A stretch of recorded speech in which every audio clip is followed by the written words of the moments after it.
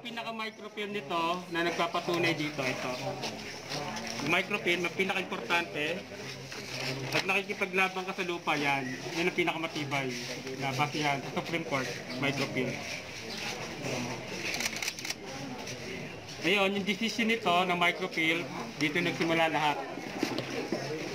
Bago ako magkaroon ng Torres title, magsisimula sa Spanish. Ito ang, lig- ito ang pinaka, pinaka trace back ng Rodriguez State. Lahat na nag-claim fake, maliban ito. po dito sa lupong inaagaw po sa kanila.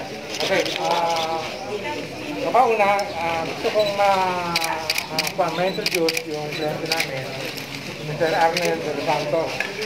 Siya may claim sa lupa. Ah, at si Mr. Diogenes uh, O. Rodriguez, ay.